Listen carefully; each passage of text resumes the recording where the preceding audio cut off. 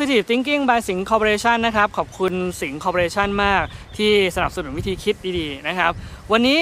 กับการพูดคุยในเทปนี้ผมได้มุมมองหนึ่งที่สนุกมาก คือมุมมองในการใส่ใจคนในสังคมนะครับ หลายคนมองว่าการตกแต่งรถครับเป็นพวกไม่ได้ใส่ใจคนรอบข้างมากเท่าไหร่ แต่บังเอิญว่าวันนี้เราพูดคุยกับคุณภูครับเจ้าของรถคันนี้ เรามีมุมมองหนึ่งครับที่สามารถเล่าให้คุณผู้ชมฟังได้โดยสรุปก็คือ การทำงานหรือการตกแต่งรถนะครับ บางครั้งเนี่ยมันต้องไม่ได้ห่วงตัวเอง ก็ต้องห่วงคนข้างๆไม่ได้ห่วงคนข้างก็ต้องห่วงรถคันข้างๆ หรือใครก็ตามทีที่เราจะไปเจอนะครับ นั่นหมายความว่าเวลาคุณทำอะไรก็ตามทีครับอย่าทำให้คนอื่นเขาเดือดร้อนนะครับทำได้สนุกได้แต่มันต้องเซฟด้วย มันต้องปลอดภัยด้วย นั่นคือสิ่งที่หลาย ๆ คนอาจจะมองข้ามไปนะครับ ปัจจุบันการใช้รถบนท้องถนนมีคลิปต่างๆ มากมายครับ ที่ให้คุณมองเห็นว่าการใช้รถใช้ถนนปัจจุบันเนี่ยอย่าพูดถึงเรื่องของความปลอดภัยอย่างเดียวเลย มันพูดถึงเรื่องอารมณ์ด้วยเรื่องของสติในการขับรถด้วยนะครับ นั่นหมายความว่าทุกๆ ครั้งที่คุณอยู่หลังพวงมาลัยครับสตาร์ทรถปุ๊บคุณจะต้องคิดอย่างแรกครับว่านั่นคือ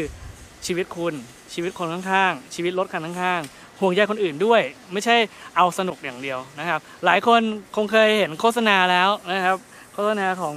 ถ้าผมจำไม่ผิดน่าจะเป็นสสนะครับ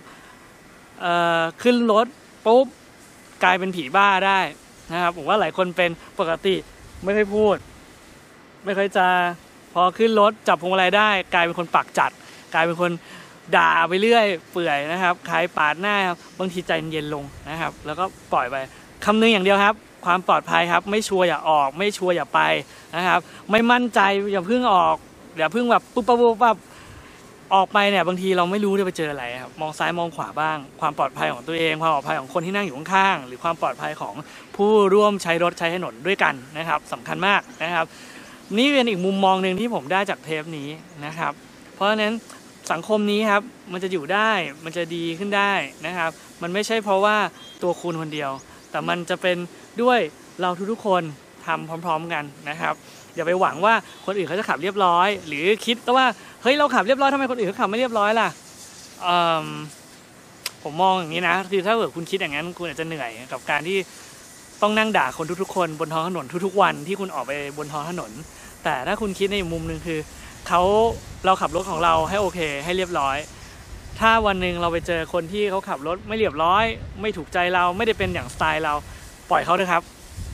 ทางมันยังอีกไกลครับ เราก็ไม่รู้เหมือนกันว่าข้างหน้าเขาจะไปเจอกับอะไรอาจจะเจอคนใจร้อนกับคุณก็ได้ แล้วเขาอาจจะควบคุมสถานการณ์ไม่ได้ก็ได้ ผลเสียก็ตกอยู่กับตัวเขาไม่ได้ตกกับตัวเรา สิ่งที่เราควรคำนึงที่สุดคือความปลอดภัย อย่างน้อยตัวเราและคนข้างๆเราเป็นพื้นฐานนะครับ ใส่ใจคนรอบข้างมากขึ้น ดูแลสังคมมากขึ้น สังคมจะน่าอยู่มากขึ้นนะครับ ขอบคุณมากสำหรับวิธีคิดดีๆ แบบนี้นะครับ กับสิงห์ Corporation นะครับ Positive Thinking by สิงห์ Corporation สัปดาห์หน้าจะพูดคุยกันเรื่องอะไร ติดตามชมต่อได้ในสัปดาห์หน้านะครับ สัปดาห์นี้ บ๊ายบายครับ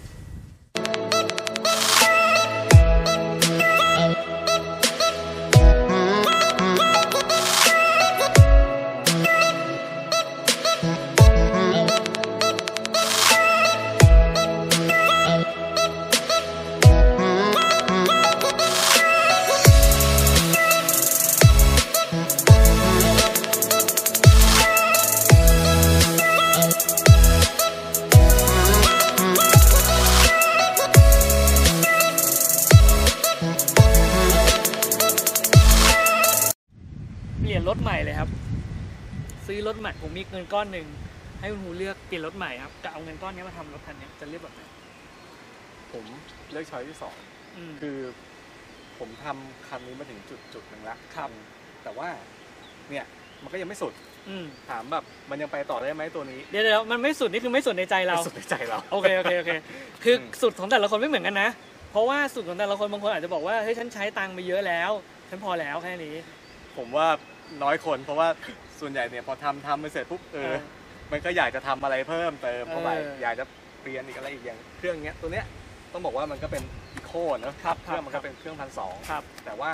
ตัวมันเองเนี่ยมันก็สามารถวางตัวที่เป็น M16A ตัวเครื่องที่เป็นเครื่องอ่าพันห้าพันหก ซึ่งได้ กำลังกำลังแรงม้าก็สูงขึ้นถูกต้อง performance มันก็ดีขึ้น ครับ ครับซึ่งมันมี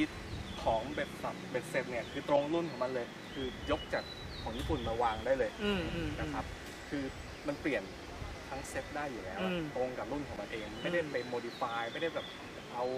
ของรุ่นอื่นยี่ห้ออื่นมาใส่ อืม เพราะฉะนั้นคือมันตรงรุ่นของมันเองคือมันมันขยับด้วยตัวของมันเองมันก็คือพูดง่ายๆคือคุณเปลี่ยนสเปคทั้งหมดเพื่อขยับ CC ขึ้น เพื่อให้ performance มันดีขึ้นถูกต้อง ใช่ไหมครับ ที่เหลือก็ไปปรับแต่งกันตามลักษณะของเครื่องที่มันเพิ่มมากขึ้น ใช่เช่นระบบช่วงล่างระบบโช้คอัพใช่ไหมครับระบบเบรก นะฮะอะย้อนกลับที่ตัวรถก่อนครับครับณตอนนี้ที่ทำไปแล้ว เราเห็นรูปลักษณ์ภายนอกครับ เป็นสไตล์อย่างนี้อย่างที่คุณครูชอบ มีอะไรใส่อะไรไปแล้วบ้างลองแนะนำคร่าวๆครับ ภายนอกนะฮะครับผมภายนอกก็รอบคันก็เป็นชุด เรียกว่าชุดสปอร์ตแล้วกันครับสำห GTI เป็นครับ ชุดสปอร์ตญี่ปุ่นอยู่แล้วครัแล้วก็พวกสกงสเกิร์ตก็เป็นแบบชุดสปอร์ตนะคครัรับบครับแล้วก็ภายนอกก็อย่างที่เห็นมีฝากระโปรงเป็นอะ Kevlar ครับ ครับ แล้วก็ ชุดพวกไฟแต่งต่างๆเนี่ยก็จะเป็นชุดที่มาจากญี่ปุ่นนะครับอืมเป็นตัวสปอร์ตของญี่ปุ่นอืมนะครับ อืมอืมแล้วก็ล้อแม็กซ์นะครับก็อ่าเป็นของ Enkei ครับเหมือนกันครับ นะครับก็ใช้ของแท้ดีกว่าปลอดภัยนะครับ ปลอดภัยครับ อันนี้อันนี้ confirm เพราะว่าเมื่อคืนก่อนผมมาถ่ายงูเล่าให้ฟังอันนี้แบบตื่นเต้นมาก เมื่อคืนนั่งทำงานอยู่มีรุ่นน้องในในทีมดีเจผมครับ โทรมาตอนตีสามเฮียรถคว่ำแล้วมันก็ลงลายกลุ่ม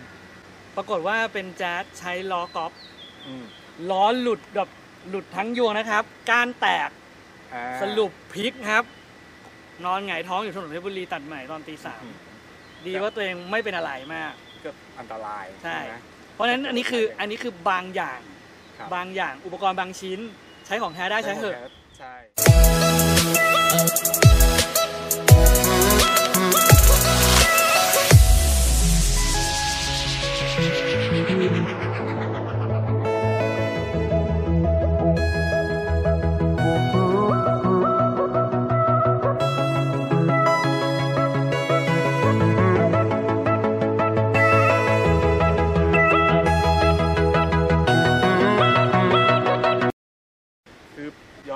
หน่อยเอออ่าแต่ว่าเทียบกับความปลอดภัยเราแล้ว เทียบกับชีวิตเราแล้วเนี่ยคือมันคุ้มค่า อืมถูกครับ ครับ อุปกรณ์ที่ต่อมานอกจากแม็กที่ควรจะต้องใช้ของแท้แล้วเบรกเหมือนกันใช่เบรกตอนนี้ใช้ของอะไรอยู่ครับ จริงๆคือเบรกเนี่ยผมขยับสเปกขึ้นมานิดๆหน่อยๆครับ ไม่ได้อะไรมากมายนะครับ คือผมใช้จาน Run Stop ครับ นะครับ แล้วก็คืออ่าผ้าเบรกเนี่ยก็ใช้ผ้าเบรกแต่งที่เป็นเกรด racingอืมนะคครัรับบครับ อืมแล้วก็คือผ้าเบรก ผ้าเบรกเกรด racing ถามว่ามันมีคุณสมบัติดียังไง มันดีกว่าผ้าเบรกธรรมดาตรงที่ ถ้าคุณผู้ชมไม่เคยรู้จักอุปกรณ์ที่เรียกว่าผ้าเบรกนะครับ จะบอกไว้อย่างนี้ว่าผ้าเบรก standard จับที่จับเอ่อจานเบรกที่อุณหภูมิประมาณสัก150องศาอืมผ้าเบรกที่เป็นผ้าเบรก high performance ผ้าเบรกแต่งหรือผ้าเบรกที่ใช้สำหรับรถแข่งเนี่ยมันจะจับตั้งแต่ศูนย์องศาเพราะมันจะค่อยๆรูดไปเรื่อยอ่าเพื่อทำให้การเบรกมัน smooth ขึ้น และลดระยะเบรกให้มันสั้นลง แล้วก็รวม รวมถึงแบบเรื่องของอาการ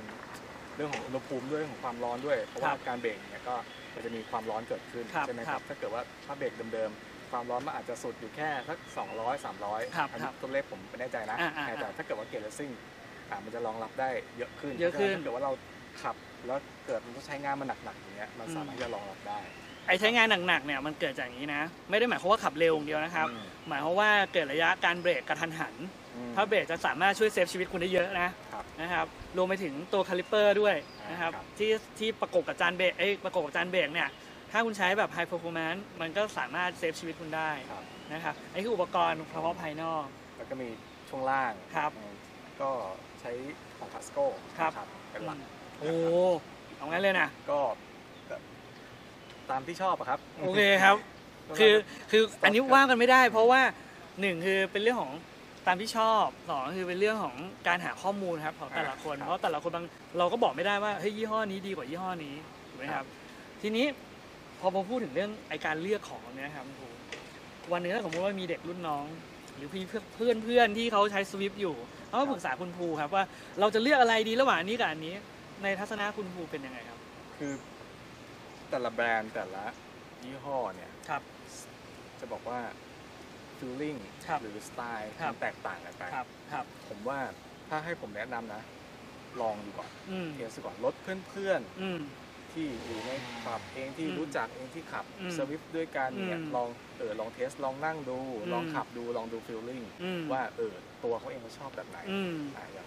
ถ้าเกิดคัสโกก็สไตล์หนึ่งอืม คลีนก็อีก แบบหนึ่งอืม เอฟไดก็อีกแบบหนึ่งอ่าย่งเงี้ยใช่หรือแบรนด์อื่นๆ ก็มากมายคือเพราะ มีมีหลายแบบให้เลือกหลาย ๆ อุปกรณ์ครับ ที่มันเป็นระบบช่วงล่างระบบช่วงล่างเบรกเครื่องยนต์ที่คุณไม่สามารถมองเห็นภายนอกเนี่ย มันทำการทดสอบได้เท่านั้นนะครับหมายความว่าคุณต้องลองกับตัวเองไปทดสอบ ใช่ครับเพื่อเลือกให้ถูกใจ ใช่ ยันไปถึงระบบท่อไอเสียเลยนะอืมปลายท่อไอเสียเสียงชอบไม่ชอบไงครับ ไปเลือกเอง แต่คุณจะต้องมีเพื่อนฝูงสักสักประมาณหนึ่งนะอ่า ถ้าคุณไปเลือกที่ร้านเขาคงไม่ให้เลือก เป็นเรื่องที่รัฐจะไปเทสเลยก็คงจะไม่ได้ก็คงไม่ได้อ่าก็อาจจะต้องใช้จากเพื่อนๆนี่แหละที่ครับเอ่อเขาใช้แบรนด์นั้นใช้ยี่ห้อนั้นใช้รุ่นนั้นครับอะไรเงี้ยนะครับก็ลองดูปัจจุบันแล้วคุณภูอยู่ในขับรถด้วยถูกไหมครับใช่ครับอยู่ปัจจุบันอยู่ขับอะไรครับ ก็หลักๆผมก็อยู่สวิฟขับนะครับครับแล้วก็มีสวิฟรันทรูอ๋อนะครับครับก็เป็นช่องทางหนึ่งนะครับที่ทำให้คนที่ชื่นชอบนะครับ มาแลกเปลี่ยนความรู้กันใช่ครับนะครับ เพื่อทำให้โอกาสในการพูดง่ายๆโอกาสในโดนฟันหัวแบะเนี่ยมันน้อยลงอ่าแล้วโอกาสเสียตังค์เสียแล้วซ้ำแล้วซ้ำอีกมันก็น้อยลง เพราะไม่อย่างนั้นมันจะกลายเป็นว่าผมว่าคุณครูเคยเจอ ซื้อเสร็จใช้ใช้เสร็จไม่ work กูเปลี่ยน ซื้อใหม่กลายว่าเสียแล้วเสียอีกเสียแล้วเสียอีกซับไปเรื่อยๆถูกไหมครับก็กลายเป็นว่าอ่าต้องไปซื้ออะคอมมือหนึ่งใหม่ตลอดเวลาอืมซึ่งอย่างเงี้ยเกิดเรารู้จักกันครับเออผม เกิดผมใช้ชุดนี้มาผมไม่ชอบอืมเออผมขายต่อเอาไหมอืมครึ่งราคาครึ่งหนึ่งอืม อะก็อาจจะซื้อไปลองดูก่อนไม่เป็นไรครับ แต่ทำไปแล้วต้องไม่ทำให้คนอื่นเขาเดือดร้อนนะครับาคาครึ่งหนึ่งช่วงหน้า เราเกิดไม่ชอบเราอยากขยับอืมเราอยากไปต่ออย่างเงี้ยอาจจะอืมขายเพื่อนอืม กันเองคือ มันก็ไม่ได้เสียหายอะไรมากครับ ถูกไหมฮะครับอืมเพราะฉะนั้นมันเซฟได้เยอะมันทำให้แบบเรามีความสุขอืมการแบบได้ใช้ชีวิตกับมันอืม ใช้เวลากับมัน อืมช่วงหน้าเราจะกลับมาคุยกับคุณภูต่อครับ เกี่ยวกับเรื่องของความสุข ในการตกแต่งรถ ผมว่าทุกคนมีหมด เดี๋ยวช่วงหน้าเรากลับมาคุยกันต่อครับ